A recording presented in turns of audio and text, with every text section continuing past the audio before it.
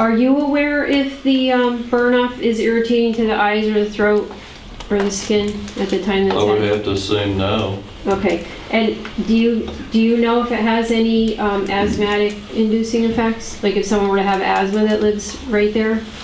I don't believe it does. Okay. We'd have to look at the MSDS on that The what?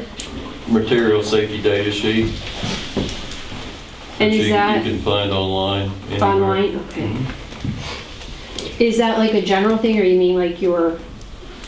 It's a general, it's a naturally occurring product that gas people use. You can find uh, ethyl mercaptan on the web under. Oh, I mean the MSD sheet, is that like just a generic sheet that's used, or is that a, a- on the Chief website you mean? no, it would be uh, just on the general web. Okay, If you wanted to review a MSDS sheet in general. okay. And, um, do, you- are you aware, I, I had asked uh, about a variety of different things, methane, benzene, the toluene or, or formaldehyde.